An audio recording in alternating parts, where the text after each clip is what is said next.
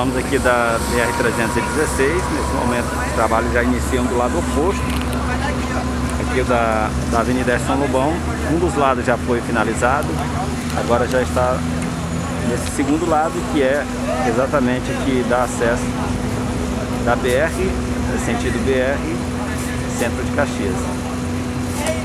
Trabalhos de asfaltamento já iniciados. Vou mostrar aqui o outro lado. Esse lado aqui já foi finalizado. É o sentido centro aqui para a BR.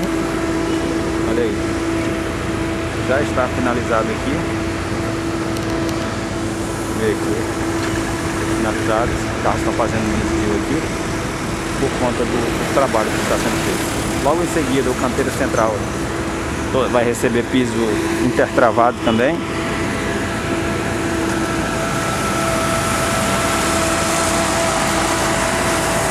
Aí a gente acompanha o serviço de asfaltamento realizado pelo governo do estado em parceria com a prefeitura de Caxias.